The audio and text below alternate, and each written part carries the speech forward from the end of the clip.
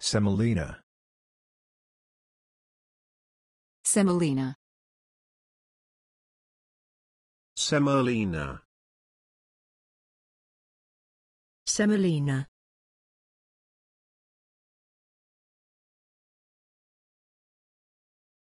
Add the flour and semolina and mix again until the dough comes together.